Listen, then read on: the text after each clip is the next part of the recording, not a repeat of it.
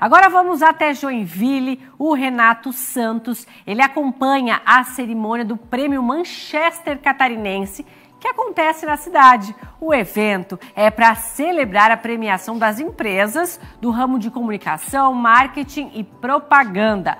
Bora falar com ele então. Renato, boa noite, é contigo.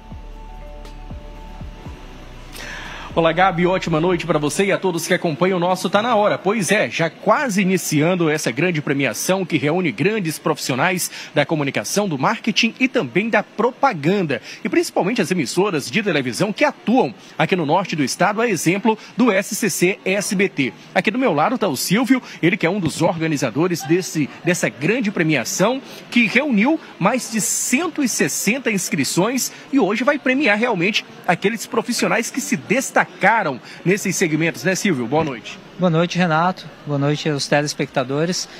É, esse foi um engajamento tão legal que nós tivemos né, neste prêmio. Você falou aí, são, foram 161 inscrições, são 19 categorias que percorrem a TV, o rádio, a comunicação digital, os influenciadores digitais, as campanhas publicitárias. Então nós temos um volume de trabalho e de ações que estão presentes no prêmio e que é, vão nos dar certamente uma representatividade muito grande no processo. Agora esse prêmio foi dividido em algumas categorias, né?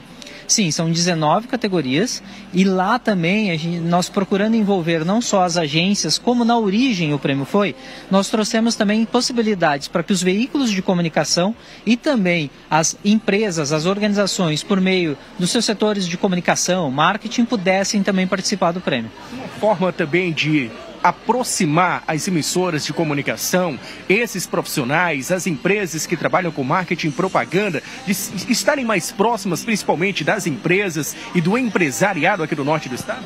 Eu acredito que isso se reflete nas inscrições, isso se refletiu na votação popular que nós abrimos ontem meio-dia, ontem de manhã e hoje meio-dia, e tivemos quase duas mil participações, e mostra esse todo esse engajamento que o trade tem e a força, né, essa pujança que tem desse setor de comunicação, marketing e propaganda aqui no norte catarinense. Ok, Silvio, parabéns pelo evento, boa sorte para todos. A gente fica torcendo, portanto, para os profissionais que estão, na verdade, concorrendo a essa premiação, que é o Prêmio Manchester Catarinense 2024. Retorno com você no estúdio, Gabi.